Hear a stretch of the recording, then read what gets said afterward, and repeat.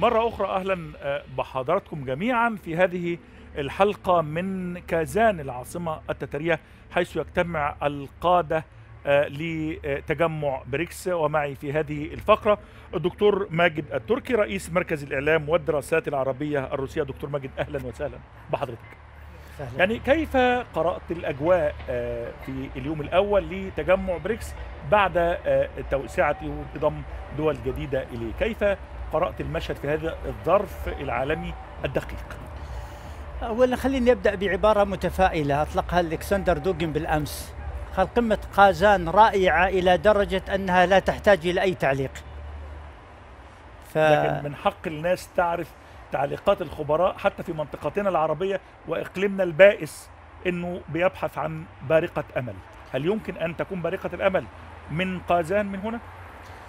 نعم من قازان لأن قازان من محاسن الصدف أنها جاءت في مرحلة تسلسل فيها تنامي بريكس. أصبحت بريكس حقيقة واقعية. أصبحت متنفس اقتصادي لكثير من الدول بعيد عن الاصطفاف السياسي بعيد عن الضغوط بعيد عن الأجندات السياسية بعيد أن تكون جزءا من أزمة من أجل أن تحظى بدعم. وجد كثير من الدول. لذلك نحن نجد أن في قمة قازان 36 دولة وست منظمات دولية تحضر وتشارك. في في في في في في روسيا التي العالم يحاربها العالم الغربي ويجعلها في زاويه يعني ضيقة. فكيف لو إذا يعني أصبحت قمة بريكس السنة القادمة في إحدى الدول الأعضاء الرئيسية؟ بريكس حاليا يعني فتحت آفاق اقتصادية أنشأت نوع من التفاؤل لدى أطراف العالم أن هناك متنفس يجتذب كثيرا من الصراعات ويحيدها.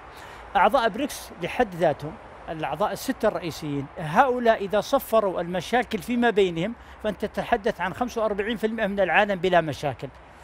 الجانب الآخر أن هؤلاء يعني وهذا يهمنا في الشرق الأوسط أن تحالف بريكس حاليا هو يتحرك في الفضاء العربي الإسلامي ديموغرافيا وجغرافيا وموارد واقتصاد وسوق. بمعنى كأنما بريكس تخاطب العالم الإسلامي، كأنما بريكس تخاطب العالم العربي، كأنما بريكس تقول العالم العربي هذه فرصة لهذه الدول أن تتنفس فضاء اقتصاديا جديدا بعيدا عن الضغوط المعتادة.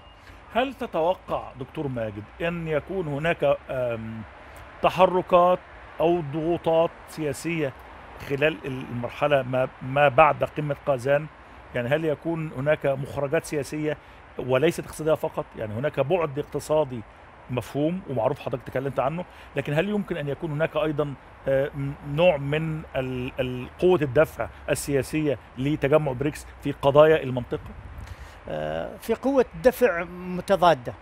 في قوة دفع من مجموعة بريكس لحل الأزمات آه هذا جانب. وإن كانت أدوات الأزمات ليست في يد تحالف بريكس. إذا نتكلم عن الشرق الأوسط نتكلم عن الولايات المتحدة الأمريكية وإسرائيل وبريطانيا المناكفة لبريكس. صحيح. ولكن المؤشرات الأخرى أن بعض الدول الغربية ومن طرف خفي هي تغازل بريكس لأن لديها مجموعة من الأزمات. تحدثت مع أحد الزملاء في قناة آه زميلة أن العام الماضي في جوهانسبرغ فرنسا ماكرون شخصيا حفيت أقدامه حتى يحضر قمة جوهانسبرغ. اليوم نتابع في التقارير كثير من الخبراء والذين يمثلون think tank للوعي الفرنسي الأوروبي يتحدثون عن إن بريكس أن القمه بريكس تجتمع في عالم من التفاؤل وقمة العشرين وقمة السبع يجتمعون في حالة من الأزمات. نحن لا نتمنى الأزمات للآخرين لأنها تنعكس علينا سلبيا. نحن نتمنى أن نتحرك في مجموعة بريكس في فضاء مفتوح هم يتحركون في فضاء مفتوح يصبح العالم بين النظامين اقتصاديين متوازيين يكملان بعض وليس يتصادمان ولا يتضادان.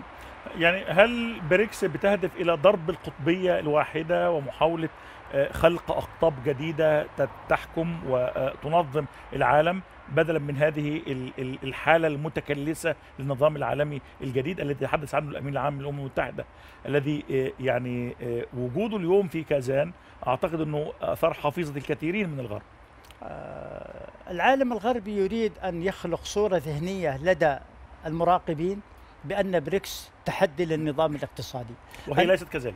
ليست كذلك هي موازية محاوله لتصحيحه نعم موازي أو إصلاحه أو موازيا له. نعم هو شوف 2006 أول تجمع لبريكس بداياته في 2006 من أجل إصلاح الأمم المتحدة 2009 وضعوا أجندات الأمم المتحدة وجدوا أن الأمم المتحدة عصية على الإصلاح لذلك قمة 2020 في روسيا صدرت في صدر البيان تبعها في 97 بند حوالي 17 بند تناول قضية العالم والأمم المتحدة وإصلاح الأمم المتحدة بمناسبة اجتماع قمة 75 سنة على تأسيس الأمم المتحدة وانتهاء الحرب العالمية. ولكن وجدوا أن القوى الغربية لا تريد تغيير منظومة الأمم المتحدة لأن تخدم مصالحها مباشرة وتجعل العالم الثالث كما يسمونهم أو العالم النامي تابعا لهم. ثم أن الموقع الجغرافي للأمم المتحدة في نيويورك يعطل عملية أي إصلاح أو أي تطور داخلي في الأمم المتحدة لذلك العالم في حاجة إلى أمم متحدة جديدة يعني آه، وجود آه، الأمين العام للأمم المتحدة أنطونيو جوتريش في كازان الآن وهو الذي تحدث في القمة آه، الجمعية العامة للأمم المتحدة على ضرورة إصلاح النظام العالمي الجديد وإصلاح الأمم المتحدة. هل تجد في هذا اتساق مع ما قاله الرجل؟ وهل هذا يؤثر أو يصب في آه، بريكس كتجمع آه، واعد ناهض؟ يصب في مصلحة بريكس هذا بكل تأكيد ولكن هل الأمين العام المتحدة يملك أدوات إصلاح المنظمة؟ إطلاقا لا هل واقع المنظمة قابل للإصلاح؟ في رأيي في صعوبة كثير من الدول نادت في اجتماعات الأمم المتحدة باستمرار ينادون هو لا ينادون فقط بل يقدمون مشاريع وآليات وأدوات لإصلاح الأمم المتحدة الإصلاح ممكن ممكن مهنيا ولكن رسميا لا القوى المستفيدة لا تريد هذا الإصلاح برأيك دكتور هل ترى إن بريتون وودز والاتفاقية التي خرج من رحمها صندوق النقد الدولي والبنك الدولي والمنظومة المالية هل آه، يعني آه، حررت شهادة وفاتها بالفعل ونحن الآن بصدد تحرير شهادة ميلاد منظومة اقتصادية عالمية جديدة أم أن هذا الطرح آه، في نوع من المبالغة والطموح الكاذب؟ لا ليست مبالغة بل هي محاولة آه، يعني الوصول إلى الواقعية. يعني لو بنيت مؤسسة ال- المؤسسات المالية التقليدية على فلسفة رأسمالية وكان يعمل لها شيء من التوازن النظام الاشتراكي. لذلك كيسنجر صرح تصريح عميق جدا. قال نحن تعجلنا في العالم الغربي على إسقاط الشيوعية فأفسدنا العالم. الآن النظام التنموي الذي تقوم عليه بريكس وليس اشتراكي ولكن نظام تنموي اجتماعي ويعدل الكفة لأن الرأسمالية إذا عاشت لوحدها تصبح رأسمالية متوحشة ولذلك صحيح. العالم يعاني من كثير من التفاصيل الدقيقة للممارسة الرأسمالية منظومة بريكس ستجعل هناك نوعا من ال- ال- الروح الاجتماعية التنموية المجتمعية بعيدا عن النزعات الفردية القاتلة لذلك سنجد أن العالم الغربي آحادا سينحاز يوما بعد يوم إلى تحالف بريكس. برأيك يعني هناك من يتحدث عن إنه طموحنا بعالم جديد خالي من ال- الضغوط وخالي من هذه الممارسات الغربية الفجة التي نراها في اروقه السياسة والاقتصاد ويقول بأنه هناك نزاعات داخلية في تجمع بريكس مثلا بين الهند والصين بين مصر وإثيوبيا بين دول الخليج وإيران. آه، هل هذا يعطل أم دافع وحافز أن ندور الزوايا وننطلق إلى الأمام؟ آه، تحذيرا لقمة قازان كان هناك تفاهمات عالية المستوى بين الهند والصين واستطاعوا أن يتجاوزوا كثير من المشكلات العالقة التي بينهم. بتصور أن بريكس سيكون فضاء للمصالح المشتركة التي تغلب الخلافات. نعم المملكة العربية السعودية أو دول الخليج أو العالم العربي في حالة خصوم مع إيران بسبب ممارسات إيران يعني الخارج حقيقة عن قانون الدولي. نعم مصر وإثيوبيا لديهم مشكلة ومشكلة عالقة. ولكن لو نرى بصورة واقعية من الممسك بتفاصيل هذه الأزمات نجد العالم الغربي وليس من مصلحته حل هذه الأزمات. العالم الغربي يمسك بأدوات المش- مشكلات ويحركها حسب مصالحه ولا يسعى لحلها. وهذا التصريح كذلك تحدث عن كيسنجر سابقا.